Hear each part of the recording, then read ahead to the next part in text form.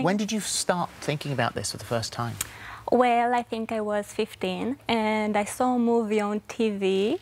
Uh, it was about a girl who sold herself for one million a night. Indecent proposal. yes. Yes, that's it. And I thought that, hmm, maybe I can do this too with my virginity. And I looked it up on the internet and I saw very, very many girls that sold themselves for 3.5 millions or more.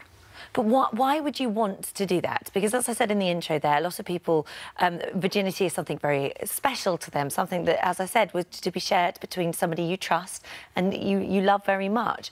Why would you want to sell something so precious? You're right, but you know, many girls sold their virginity, and after that, maybe after many years, they break up with the guy, you know, and it's not worth it.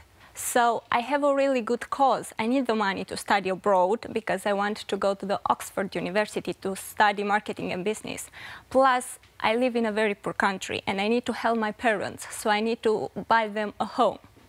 You know, after that, after I graduate, I know I want to start my own business. What about health and safety? I mean, you you've had to be tested to make sure that you Uh, are a, a yes, virgin. I were. Uh, I was tested before, Yeah. and medically after, examined.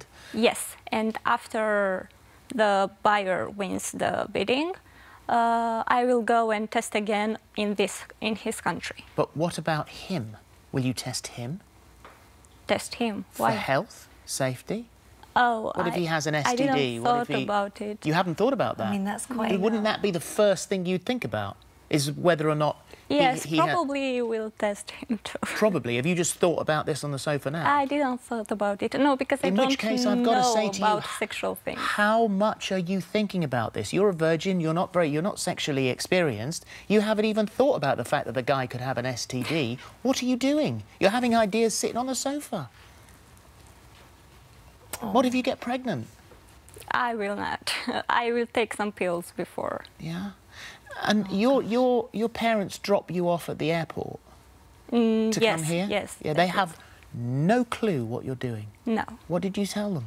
I told them that I'm going for um, model catwalk. So they, they don't know they don't know the whole reason you're doing this is to, is yes, to I'm help doing them. thing- this for them, but they don't know. And if they knew what lengths you were going to to help them, do you think they'd try and stop you? yes, of course. What would they say? What would your father say? My father is a very strict man, and I think that he wouldn't agree. It. I think he would. But what if this? What if this gets out? You're appearing on national television. Things go I know. global. I know, but my parents will not find out, and if they will, at least I will give them what what they need, and that's all. So, do you think that you could say to your parents, "Listen, I did this for you. You're being evicted in February. This is very noble of you, and I get that. I understand that totally. I mean, the, it's a big sacrifice to make for the well-being of your parents and for your future education. But will they accept that if you say to them, "I did this for you"? Well, if they don't find out, I will never tell them.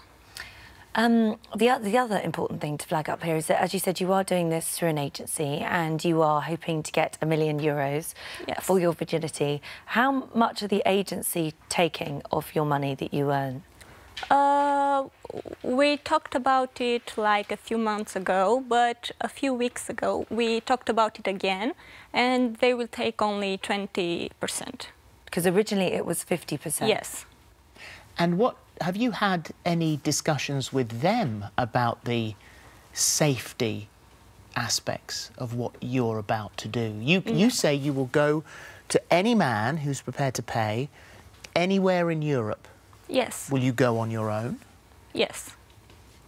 I've got to say, I mean, I'm a father. I've got, I've got two girls who are not far off your age. I have to say to you now, um, I mean, I think the people saying this at home, are you out of your mind? You haven't thought about the health aspects. You haven't thought about the safety aspects. What are you thinking? I live in a world where I think that everything is okay and everything is right, so I don't. But everything isn't okay in the world, and everything isn't right, and there are very bad people out there. Well, I think that if you're going to pay that price, you will be a good man and not having Oh, a gosh, problem. I'm not so sure. I think you need somebody to, to support you through this. I really do, because I think you need to sit down and really, really think about the implications of what you're doing. I understand that this stems from a desperation that us sat here will just never, ever understand, thankfully. Because I can't imagine why a beautiful young lady like you would put yourself through through something like this. Um, as for other women, because like you said, you looked on this website and there were many girls Yes. who have done this. Is this becoming an option? What would you say to young girls that are watching this now thinking, oh, well, I need to put myself through university? Would you suggest this as a, as a good way of doing that? if it's an emergency, like in my case, if it's a real emergency that you need those money quickly and it's no other way you can do it, mm-hmm. I would say yes, unfortunately. But if it's not an emergency, then no. Thanks for watching. Click here for more This Morning videos.